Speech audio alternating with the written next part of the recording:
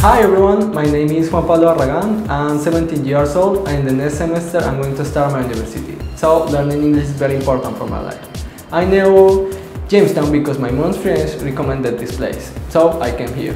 From the first moment I felt a pleasant environment. When I had questions I always asked to my teachers and they always answered to me. My learning experience at Jamestown was very easy because my teachers always helped and motivated us. Come to Jamestown and learn English. Jamestown, my new life.